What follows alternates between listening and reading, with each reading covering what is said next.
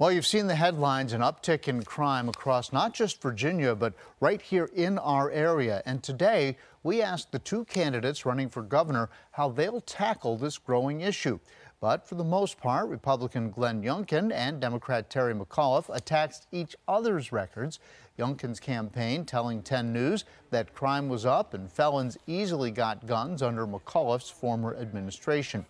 In a statement, they said Youngkin will prioritize public safety, support law enforcement, and work hard to keep guns out of the hands of criminals.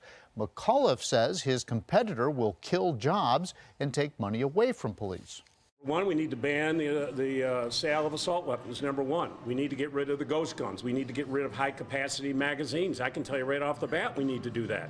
Glenn Youngkin is very public. He's against each and every one of those. The two will face off in the general election on November 2nd.